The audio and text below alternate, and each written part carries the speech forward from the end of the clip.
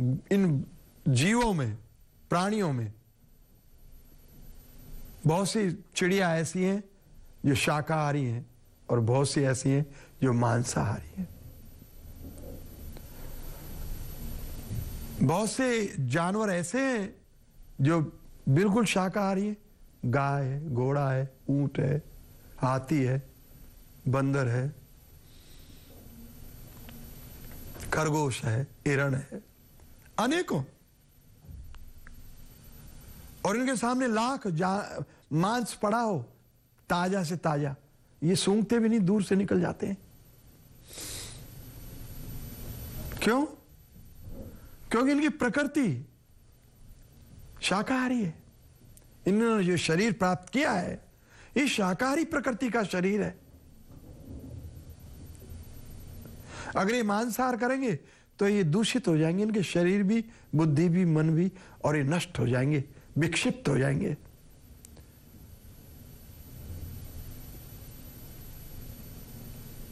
ऐसे ही जानवरों में है। सिंह है उसके सामने, उसको रोटी नहीं चाहिए, दाल नहीं चाहिए, उसको मांस चाहिए, क्यों उसका शरीर जो उसने प्राप्त किया, वो ऐसी प्रकृति का प्राप्त किया है। और भगवान का ये सब अरेंजमेंट है कि जहाँ पर हिरणों के झुंड हो तो उनको बैलेंसिव करने के लिए सिंह है, बाघ है, चीते हैं, दूसरे भेड़िए है वोल्फ कई कई मांसाहारी कुत्ते हैं, बिल्ली है। ये बैलेंस को सही बनाए रखने के लिए वो भगवान ने जो है इनको पैदा किया। मनुष्य है, इसको भी जो दांत जो है और आंत, ये शाकाहारी की प्रदान की, इसका शरीर शाकाहारी दिया। लेकिन इसको बुद्धि सभी प्राणियों में सबसे अधिक भगवान ने बख्शी। तो ये उस बुद्धि का उपयोग करे या दुरुपयोग करे कर सकता है। ये कोई भी जानवर को मार के खा सकता है। पावर है, शक्ति है इसके अंदर। और मारने जाने के लिए अब तो वन में जाना ही नहीं पड़ता। घर बैठे रहो बस। स्टोर, दुकानों के ऊपर सभी प्रकार के जानवर मिल जाते हैं। सांप, कंछड़े भी मिल जाते हैं खाने के लिए। फिर तुम सुअर खाओ, चाहे बिल्ली, कुत्ते खाओ, कुछ भी खाओ, सब अवेलेबल है। तो खाता है। हल्दी लगे ना, फिटकड़ी, रंग चौक हो आ जाए। लेकिन प्रकृति के खिलाफ है। प्रकृति मनुष्य को शाकाहारी घोषित करती है। साइंटिस्ट ने भी इस बात को, पूरे विश्व के साइंटिस्ट ने इस बात को घोषित किया है कि मनुष्य शाकाहारी प्राणी है। फिर हमारे शास्त्र, चाहे कुरान हो या बाइबल हो, लॉर्ड जीसस मांस खाने को मना करते हैं। तो करते हैं, लेकिन उनको माने कौन? कुरान में भी मांस खाना अलाउ नहीं है, लेकिन माने कौन? फिर गीता, शास्त्र, आयुर्वेद बुद्ध भगवान। बुद्ध भगवान ने तो महावीर स्वामी, गुरु नानक देव, कोई भी मांस खाने को अलाव नहीं करता। लेकिन लोग मानते नहीं तो अपनी मनमानी ढंग से जीवन जीते हैं। बुद्ध भगवान ने कहा कि अचिंत भेदा भेद ये भी जीव है, लेकिन हमको जीने के लिए कुछ खाना पड़ेगा, इसलिए हम मनुष्यों का जो सेलेक्टेड भोजन है, वो वेजिटेरियन है, शाकाहारी है। अपने शिष्य को कहा। लेकिन वही शिष्य जो है, दूसरे दिन जो किसी के दरवाजे पे भिक्षा मांगने गया तो उसने उसके बॉल में मांस का टुकड़ा डाल दिया, कटोरे में। तो उसने खाया तो नहीं, लेकिन लेकर आया बुद्ध भगवान के सामने और कहा, मुझे तो ये देखो, मांस का टुकड़ा डाल दिया बॉल के अंदर। इसका क्या करूँ? इसको खाऊं या नहीं खाऊं? बोले, यूँ तो ये भी मिट्टी है। और जो आप साग सब्ज़ी बोल रहे, वो भी मिट्टी है, आखिर तो ये सब मिट्टी है। सब मिट्टी से ही खड़े होते हैं। बात तो उसने बड़ी पते की बोली कि मिट्टी से ये गाय, भैंस बनती हैं, मिट्टी से मनुष्य बनते हैं, मिट्टी से पेड़ पौधे बनते हैं, फल फ्रूट आते हैं, सब्ज़ियाँ आती हैं। तो ये सब तो मिट्टी है। फ़र्क क्या है? और मुझे तो मांस का टुकड़ा डाला। अभी मैं इसको खाऊं या नहीं खाऊं? तो बुद्ध भगवान ने कहा कि ये तो बात तेरी ठीक है, ये सभी मिट्टी है। तो एक काम कर, जो जो जानवर अपने आप ही मर जाए नेचुरल डेथ हो जाए, उसका मांस खा ले। वो वो वो ज़रूर मिट्टी है डेफिनेट लेकिन किसी का भले आदमी, किसी का घर क्यों बिगाड़ता है? आत्मा को तो तू क्या कोई भी नष्ट नहीं कर सकता? लेकिन ये दूसरों के घरों को क्यों तोड़ता है? इनको भी जीने का हक है। इनको जीने दे। और ये तेरा भोजन नहीं है। बुद्ध भगवान ने तो इसलिए कहा कि इतनी तो इसके अंदर अकल होगी, ध्यान मार्ग में है ये, कि मरे हुए जानवर को जो पॉइजनिस्ट हो जाता है, इसको मैं क्यों खाऊं? जो नेचुरल मर गया है, उसका तो पॉइजन हो जाता है पूरी बॉडी का। उसको कोई खाता नहीं। तो वो बुद्ध ने सोचा कि ऐसे बोलूँगा तो शायद ये नहीं खाएगा, समझ जाएगा। लेकिन बुद्ध भगवान के चले जाने के बाद में और बहुत से जो है बुद्धिस्ट लोग मांसाहार का सेवन करने लग गए कि बुद्ध ने तो बोला है कि खा सकते हो मरे हुए मांस को। तो ये मरा हुआ, ये सब जो खा रहे हैं हम चाहे मार मार रहे खा तो मरे ही रहे। तो अपने अपने तर्क ढूंढ लेता है आदमी, अपने को उठाने के लिए भी और गिराने के लिए भी। कोई भी धर्म, मांस खाना अलाउ नहीं करता कि मांस मनुष्य का भोजन नहीं है। जीसस ने जो रोम में, रोम की जो बड़ी चर्च है, वहाँ भेड़ों की बलि देते थे, मंदिर के अंदर, चर्च के अंदर। उन्होंने अपने हाथों से वो भेड़ का, काटने के जो छुरे थे और तकते थे, वो सब फेंक दिए बाहर और बहुत शाउट किया कि don't do this business with my father वो भगवान के साथ ये धंधा मत करो कि ये बलि देंगे तो भगवान खुश हो जाएँगे। कलकत्ता की काली माता को बलि लगती थी। अभी गवर्नमेंट ने मना कर दिया तो बंद है। लेकिन वहाँ ढेर लग जाते थे हड्डियों के, कि माँ को बकरे की बलि चाहिए, मुर्गे की बलि चाहिए। खाते पंडित पुजारी हैं, माँ तो दुर्गा तो माँ नहीं खाती। काली चालीसा में लाइना आती है अंत में, माला और फल फूल चढ़ाए, मांस खून से नहीं छुआए, सबकी हम समान महतारी काहे कोई बकरा को मारी? हम सबकी माता हैं हमारे सामने क्यों तुम ये बकरे और मुर्गे लाला के मारते काटते हो? एनीवे anyway, कलकत्ता गवर्नमेंट ने जो है वो बकरा बलि बंद कर दी वहाँ पर। अभी लड्डू बतासे का भोग लगता है। फिर भी मैंने सुना था पुजारी से पूछा तो कहने लगे कि साल में एक बार बकरा कटता है दशहरे के दिन एक बकरा। वो अभी रख लिया है। निशानी बना करके कि कभी आप बकरे कटते थे।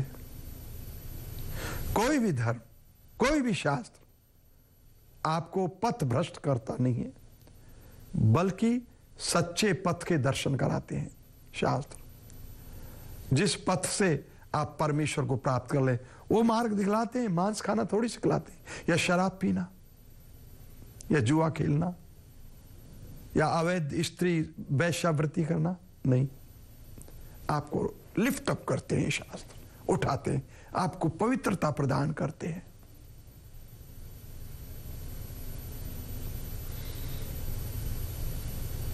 सतोगुणी भोजन को श्रेष्ठ कहा भगवान ने। भगवान ने कहा कि अर्जुन ये तीन प्रकार के मनुष्य होते हैं, सतोगुणी, जिन्होंने अपने शरीर को सत्वगुण भोजन खिला से डेवलप किया है। उनका पूरा शरीर सत्वगुण में है। फिर उनके विचार, बुद्धि, भावना सत्वगुण में होती है। लेकिन जिन्होंने अपने शरीरों को रजोगुण भोजन खिला खिला के डेवलप किया है, उनके विचार, बुद्धि, मन रजोगुण ही होते हैं। और बहुत से लोगों ने जो है तमोगुण से अपने शरीर को तमोगुणी भोजन दे दे के तमोगुणी आहार, जैसा कि मैंने कहा था पिछले सत्संग में, कि पाँच दरवाजों से हम आहार लेते हैं। इनमें जीव यानी स्वाद सबसे मुख्य है। इसलिए भगवान ने आहार भोजन के लिए बोला। आहार स्वपी सर्वस्व त्रिविधो भवती प्रिय। सतगुणी पुरुषों को सतगुणी आहार पसंद है। प्रिय है। मालपुए है, खीर है, दूध मलाई है, सुंदर सब्ज़ियाँ हैं, दाल है, गेहूँ, चने की रोटी है, मक्का बाजरा की रोटी है, आम के अचार, नींबू के अचार, ये पसंद है। गन्ने का रस है ऑरेंज जूस है, ताज़ा फ्रेश ग्रेप्स जूस है। सड़ा हुआ नहीं, सड़ी हुई शराब नहीं। लेकिन रजोगुणी को दूसरा हो। तो थोड़ा विस्तार से भगवान ने कहा कि अर्जुन फिर प्रश्न करेगा कि सत्वगुणी आहार कैसा होता है, क्या होता है? तो भगवान ने वो दर्शाया है। और उसके क्या गुण है? उसके करने से क्या लाभ है? वो भी भगवान ने एक ही श्लोक में ये चीज़ बोल दी है। सातवें, सत्रहवें अध्याय के अंदर आठवां श्लोक है, देखिए। आयु सत्व बलारोग्य सुख प्रीति विवर्धना। रश्या स्निग्धा स्थिरा हृदय आहारा सात्विक प्रिया। हे अर्जुन, सात्विक भोजन मन को, बुद्धि को, वीर्य को चलायमान नहीं करता, स्थिर रखता है। इसलिए ये स्थिरा कहा।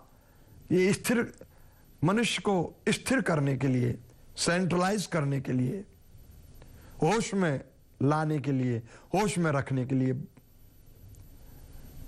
उपयुक्त है। चलायमान, जब आप आयुर्वेद के संपर्क में जाएँगे तो मालूम चलेगा आपको फैक्ट क्या है।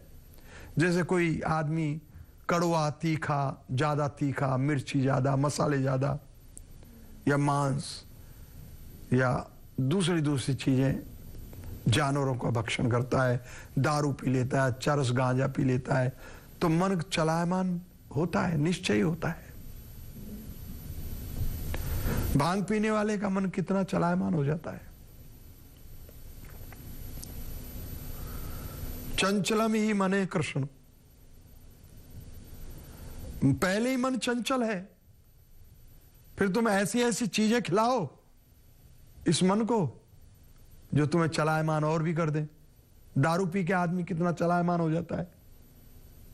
राजा बन जाता है। अभी उसको रानियाँ चाहिए पाँव दबाने के लिए। घर का भी होश बुला देता है। पूरी पृथ्वी का सम्राटा भी छोटे मोटे घर में घुसने की क्या ज़रूरत है? पूरी दारू चढ़ा लिए। तो ये तमोगुणी आहार है। लोग बकरे का ब्लड पीते हैं। तो उनके मन कैसे स्थिर होंगे? बुद्धि कैसे स्थिर होगी? कैसे वो सत पथ पर उनका रथ रुकेगा? या आगे बढ़ेगा? या चलेगा? नहीं, वो तो पथ भ्रष्ट हो जाएँगे, क्योंकि उनके विचारधारा बिगड़ी हुई होगी, शुद्ध नहीं हो सकती। जो पेट में डालोगे, वही तो तुरंत विचारों में प्रकट हो जाता है। कोई भक्त भगवान के मंदिर में जाकर भगवान का प्रसाद लेता है, चाहे वो हाथ पर ही लेता है या बैठकर खाता है, उसकी बुद्धि के विचार और बुद्धि और भावना कुछ अलग नज़र आएगी आपको। लेकिन व्यक्ति मदिरालय में जाता है, या कसिनो में जाता है जुआ खेलने, या वैश्यालय में, या सजे हुए मांसाहार की तरफ़ लपकता है तो विचारधारा कुछ और होती है। ये तो बड़ी सरल सी और अनुभवी बातें हैं। उनको मांसाहार करने वाले भी, शराब पीने वाले भी जानते हैं। और शाकाहारी लोग जो शराब को छूते नहीं, वो भी जानते हैं। लेकिन प्रिय किसको क्या है? ये गुणों के ऊपर आधारित है। लेकिन ये नहीं कि रजोगुण ही रजोगुण में स्थिर हो गया है तो रजोगुण को दबा नहीं सकता। नहीं, वो रजोगुण को दबा के सतोगुण को डेवलप कर सकता है। इसलिए शास्त्र है। मार्ग दर्शाया गया है। तमोगुणी भी सतोगुणी के स्तर पर जा सकता है। एक सदना कसाई भी भगवान के धाम को जा सकता है। लेकिन अभ्यास तो करना पड़ेगा।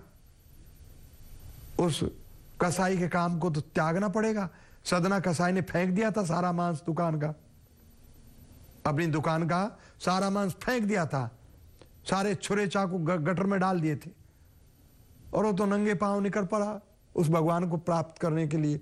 चल दिया जगन्नाथपुरी की तरफ़। सदना कसाई की कथा सभी संतों के मुख में रहती है। क्यों? क्योंकि उन्होंने भगवान को प्राप्त किया। भगवत धाम को गए हो। हाईएस्ट श्रेणी में उनका सम्मान हुआ। तो ये ना सोचिए कि जो तमोगुणी है, वो तमोगुणी में ही उनका जीवन और अगला जीवन नहीं, वो आज से टर्न यू टर्न ले सकते हैं। जो साउथ दिशा को जा रही कार यू टर्न ले गई तो किधर जाएगी? नॉर्थ में जाएगी।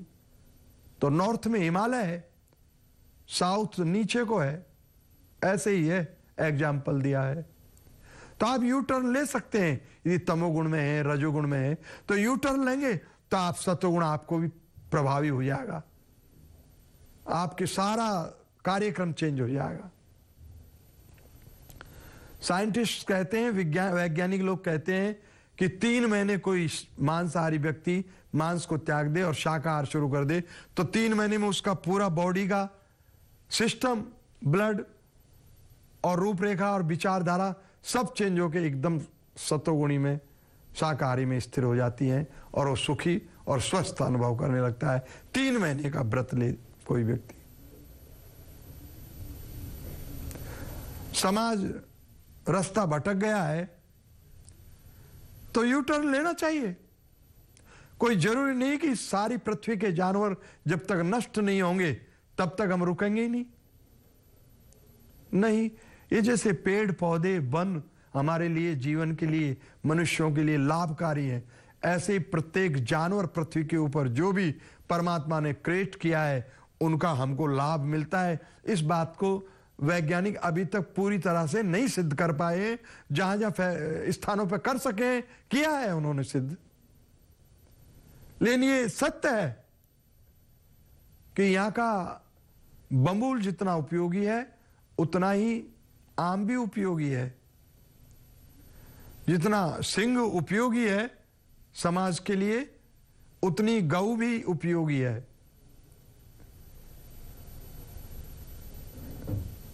जैसे हनी भी मधुमक्खी होती है। वैज्ञानिक कहते हैं मधुमक्खी का होना बहुत ज़रूरी है हमारी जीवन के लिए, हमारे स्वास्थ्य के लिए, हमें एलाइव रखने के लिए। ऐसे ही प्रत्येक जानवर, तुलसी का पौधा, जैसे वैज्ञानिकों ने सिद्ध किया कि जिस घर में हेल्दी एक तुलसी का पौधा होता है, वहाँ प्लेग तक प्रवेश नहीं करता। और ये सत्य प्रूफ हुआ, जब सूरत में, गुजरात में सूरत के अंदर प्लेग फैला था और बीस हज़ार आदमी मरे थे। मैं बंबई में था उस समय। तो